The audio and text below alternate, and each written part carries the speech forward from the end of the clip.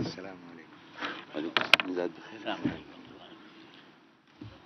Uh, first of all, I would like to mention that these religious scholars and uh, spiritual leaders are here for condolence, for expressing their grief.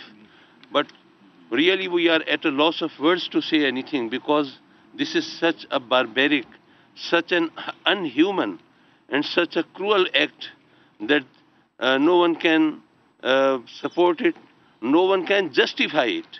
So we are here to say that we are all are, are very shame, uh, feeling very shameful, and we express our heartfelt um, sorrow and very deep um, feelings for that.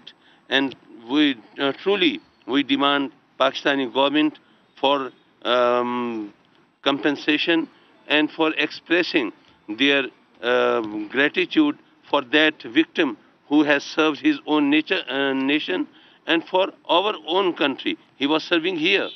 And uh, we appreciate and uh, not only the religious scholars, but from every walk of life, every person is condemning this uh, brutal act.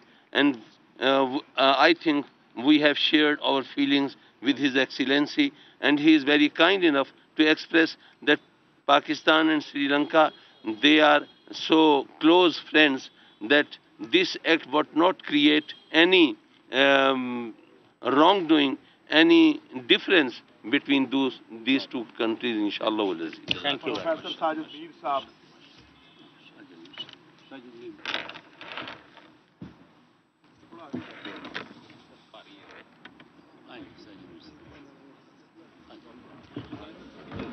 Assalamu alaikum.